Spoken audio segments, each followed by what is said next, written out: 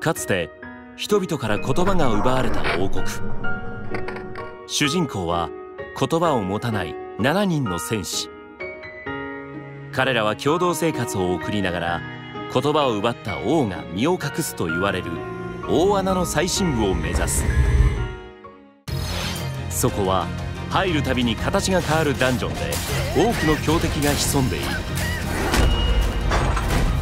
剣や弓魔法など7人はそれぞれ異なる武器で戦う。